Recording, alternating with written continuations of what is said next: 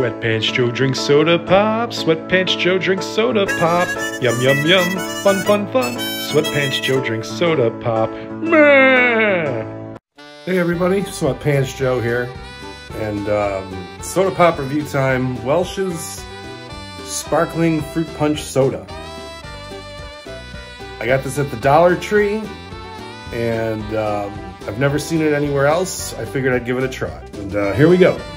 Welch's Sparkling Fruit Punch Soda.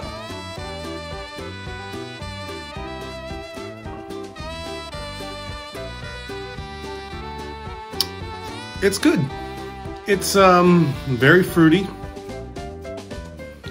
very carbonated.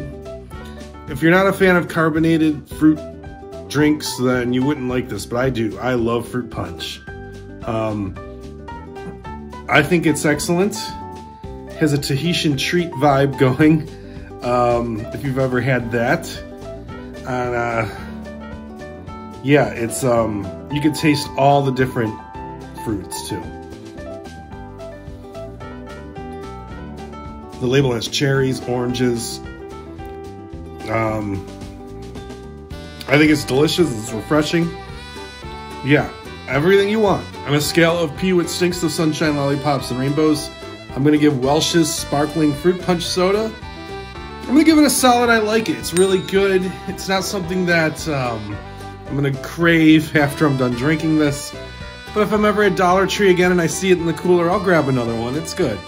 Let me know in the comments below. Have you seen this? Have you tried it? What are your thoughts? Thank you guys for watching, and rock on.